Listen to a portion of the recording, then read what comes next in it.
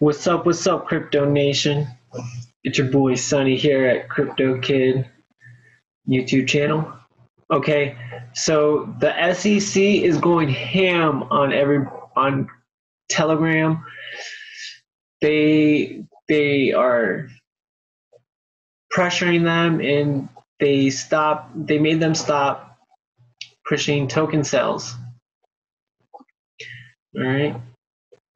And if you see anything other on about Telegram's token sales, it's all a scam. They are they're not doing it anymore.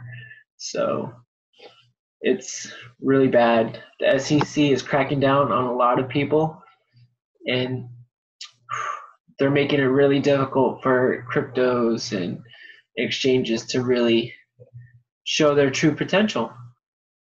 Okay. These are all regulators, by the way, for those of you who are first timers to cryptos. The regulators are are oh man, how do I say? They want you know what? I don't even know why they want to make things so hard. I mean, there's things in cryptocurrency that need to be used and just because they're making it difficult for crypto nation for exchanges to get the word out there they're not going to be able to stop it completely. I mean telegram i i definitely use them a lot for crypto news and and get group chats going and all that. I follow ripple verge xr um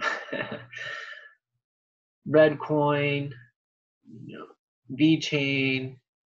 all on Telegram. They have the groups, and that's where I get to communicate with a lot of people that are involved with the industry, and especially founders, co-founders, CEOs. They all run those group chats. Well, not run, but they have their team run it, and they're able to get the word out there. Like that's like instant news right there. Okay, but the SEC is bringing halts to all that and they're making it somewhat of how do I say?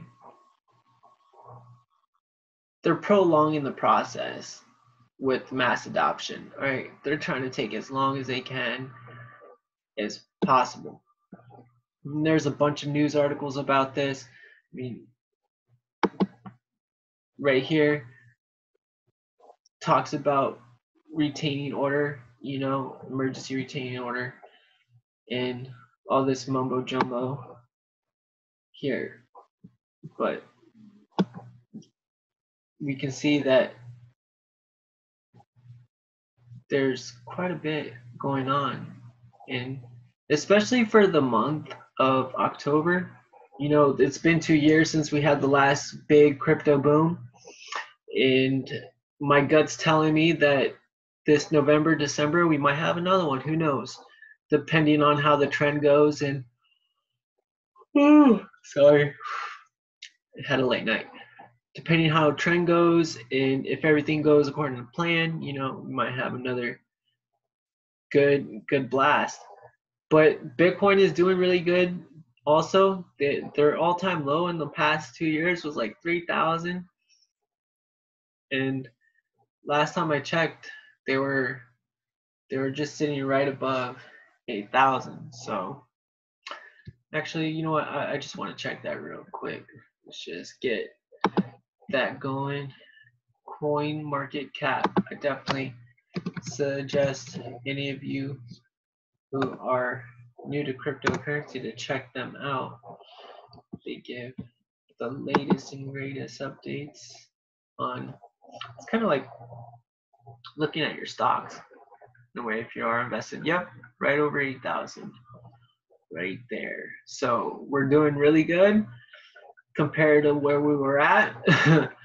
I mean those were really depressing days when you're seeing bitcoin go down to 3000 you know you're thinking like stop stop. Don't go far. Don't go down any farther. And yeah. I remember when litecoin was at number three spot hmm. And Tether still staying solid at a dollar. XRP doing good, doing good. I have I have some XRPs. I have quite a bit of friends that are involved with that coin too, and they're they're holding strong. They're definitely holding strong. And I was right about about them going on to Coinbase and all that before they actually went on. And it's actually pretty pretty tight. We have Stellar, Tron. I love Tron. Love what they're doing. Monero, Dash, Neo.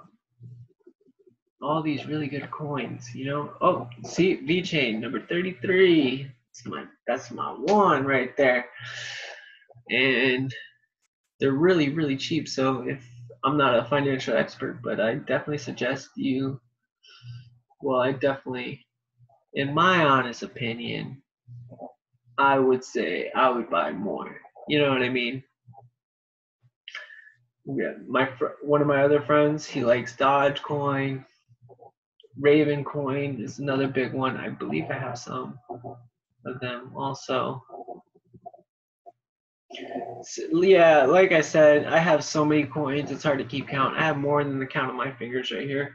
So, and it's all about variety and diversity and to to really see the potential and to see like if one of them take off there's no doubt that that everything's going to be okay and if there's um increasing my chances of winning basically is what i'm trying to say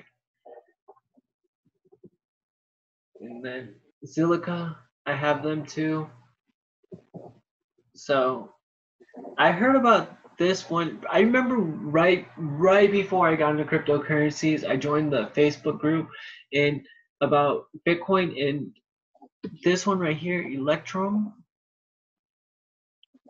I remember people were freaking out about them. Like girlfriends were getting mad at their boyfriends for for buying a lot of that.